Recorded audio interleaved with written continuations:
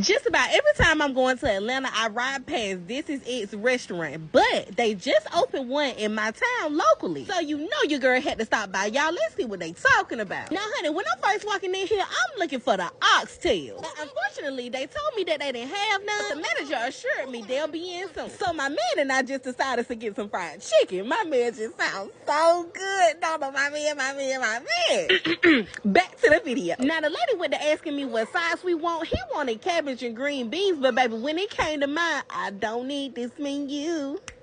No, I don't. That mac and cheese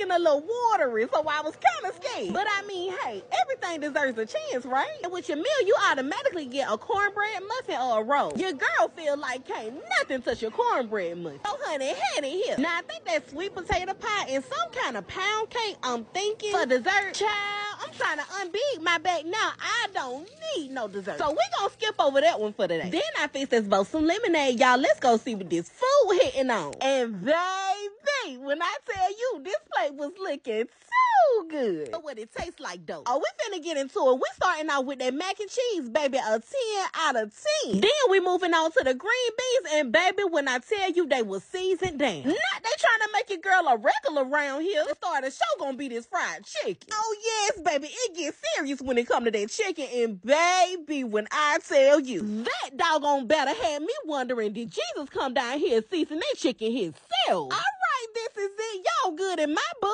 Cause baby, it's a 10 out of 10 and your girl highly recommend. Have you ever tried this is it? And what's your favorite thing on the menu? Bye y'all.